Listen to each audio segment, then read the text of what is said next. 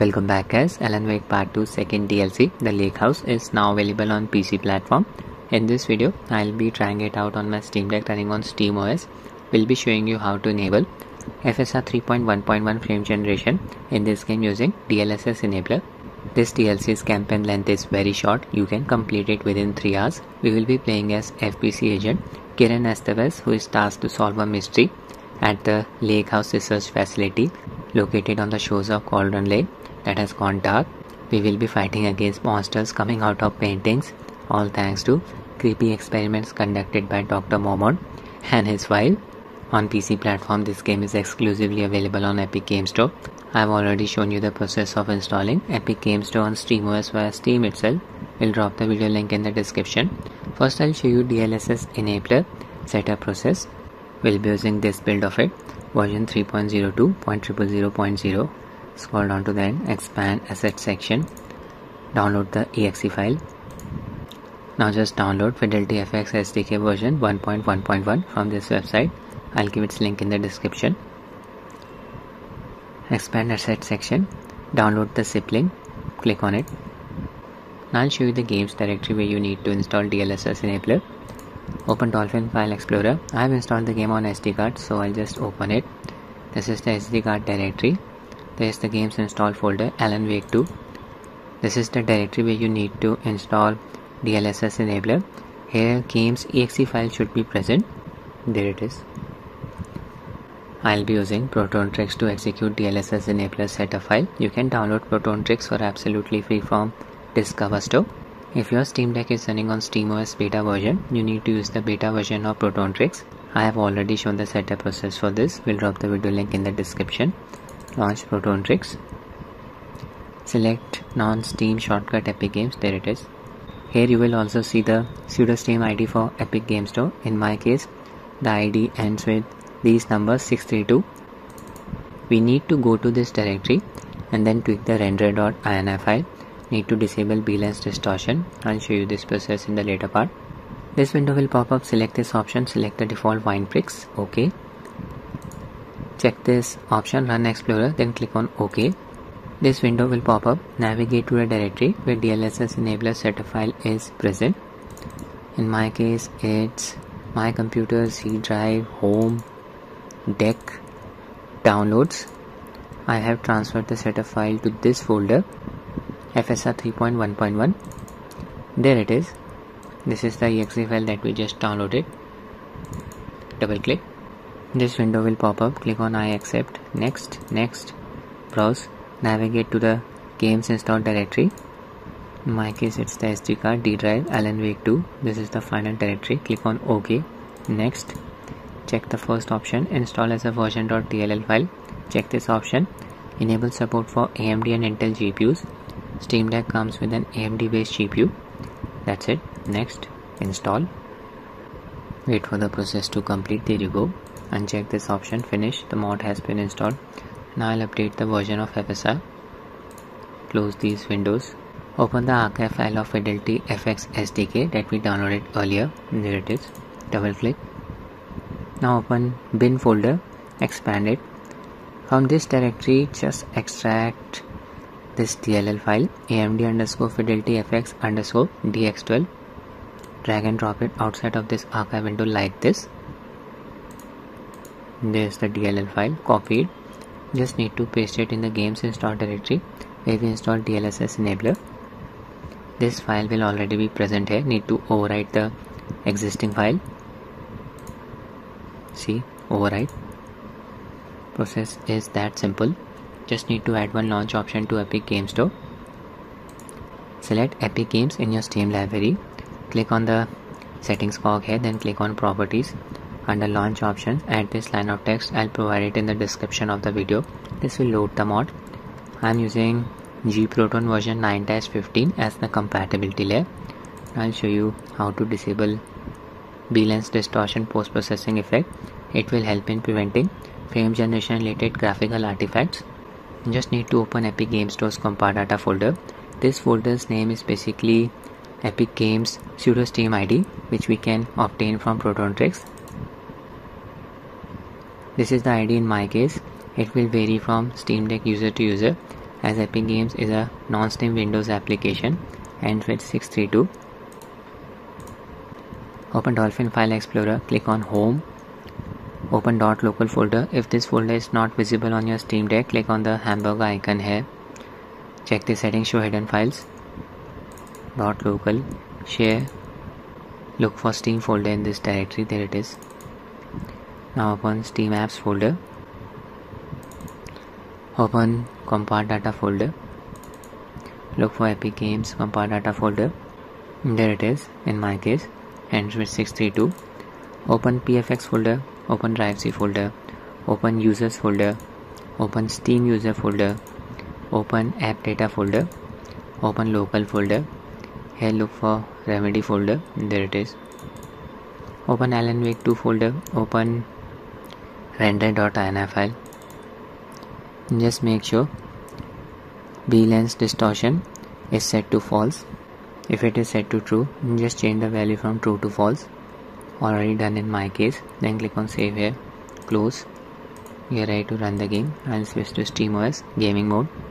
Connected my cosmic byte stellaris gamepad to steam deck via bluetooth mode this game has very variable performance. Fps on steam deck varies from 20 to 50 depending on the scene. Epic games is starting. Performance QM settings. I've set the overlay level to 3 I own the LCD variant of Steam Deck. Its display supports up to 60Hz refresh rate. I'll just uncap the FPS disable frame limit and allow tearing settings enabled. And that's it. Launch Alan Wake 2 ignore this message. 12GB of physical memory available. I set the UMA buffer size to 4GB in-game settings display mode set to borderless upscaler set to DLSS this means the mod is working. The mod basically replaces DLSS upscaler with either FSR or XeSS upscaler. Frame generation disabled for the time being. Using the performance preset of DLSS upscaler. Motion blur film grain and lens distortion disabled lowest preset used effects disabled ray tracing off. That's it. This agent Estevez I'll just select the upscaler. Open OptiScaler menu by pressing the insert keyboard key. You can map it to any of Steam Deck's back grip buttons if you don't have any keyboard. Yeah upscaler selected. FSR 2.1.2 just use my mouse. Change it from FSR to XeSS it will help in fixing the texture shimmering issue. This is the version of XeSS 1.3.1 just click on apply here. And that's it. Close. This is the game running without frame generation. Save point. Here fps is very variable. The range is from 30 to 50 depending on the scene. I'll be fighting against some takens here. Image quality is looking decent nothing special using the performance preset of XeSS just don't use FSR in this game. Otherwise you'll observe a lot of texture shimmering. Okay I'll just enable frame generation now. 32 45 fps without it. On. Check out the input response.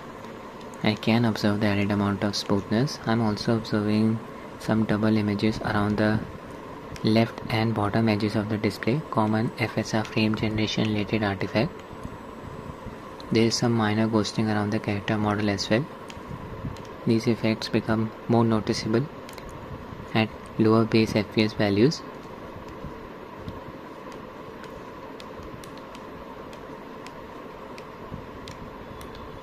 Looking for a taken, there it is. Pause the darkness around it, serves as a shield. Just point my flashlight at it if you observe some stuttering after enabling frame generation, just cap the FPS at 60 using performance QM settings.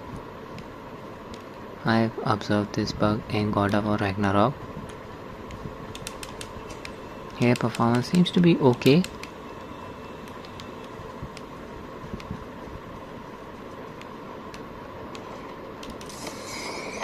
FPS is still variable, can suddenly drop from 60 to 46 poor visibility here Oh no, another taken.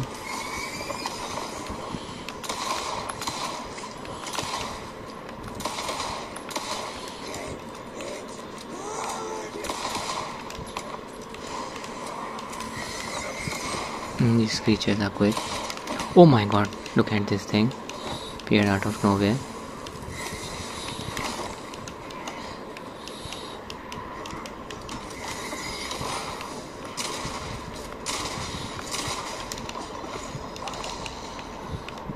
Need to restore my health. Yeah, you can play the game on Steam Deck. Not the ideal experience, but yeah, it's playable.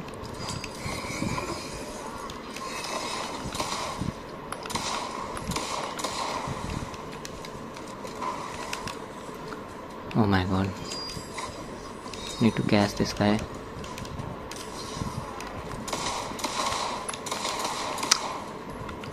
So quick.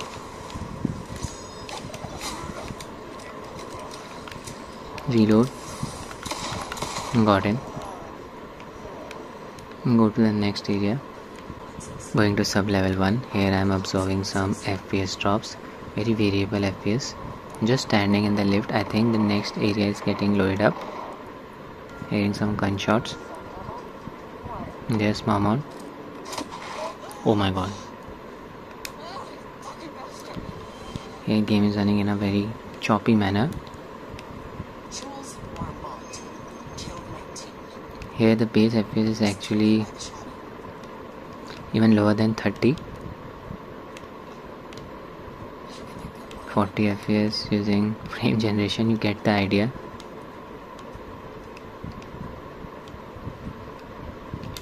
so very variable performance depends on the sub level here I'll be fighting against some monsters coming out of painting. Need to be careful. They can appear out of nowhere and grab you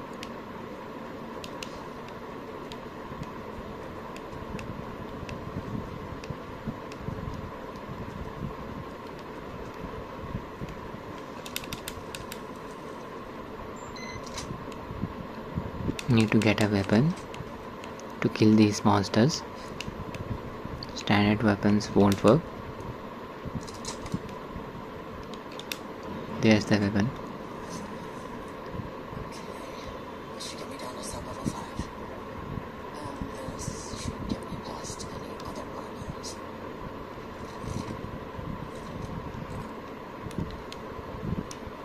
Charge the black rock launcher there's the monster see? It's coming. Blasted it. So 40 to 70 fps with frame generation enabled. Depends on the area. That's it with the video guys. I hope you found it useful. Thanks for watching and have a nice day